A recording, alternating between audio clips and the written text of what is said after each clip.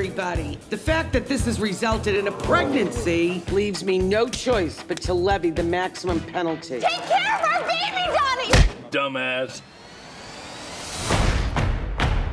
So what the IRS say? You haven't paid taxes since 94, Donny. I'm going to prison if I don't get 43 large. Holy cow, that's my boy. He moved out when he turned 18. I haven't seen him since. He is one of the youngest hedge fund managers in the financial industry. Maybe your son can help you.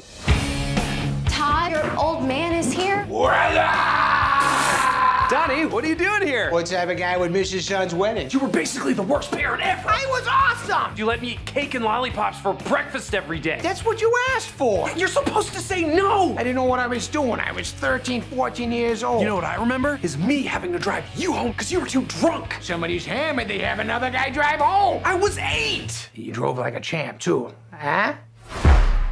Give me another chance. Get to know me a little bit. You guys have fun at the bachelor party. This is gonna be awesome!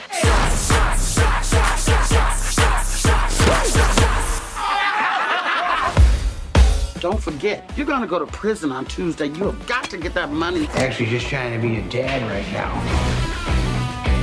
You wear a bathing suit in the shower? Can't even take my shirt off in front of other people. What did I do this? Dad? Let me jog your memory. The new kids on the block. Their heads are all warped now. Yeah, it's because I got it when I was in third grade. My body grew. you suck. That's my boy! Ever since you showed up, Todd's been acting like a different person. John, you all set, buddy? Please don't hit us. Please don't hit us. Here you go, big man.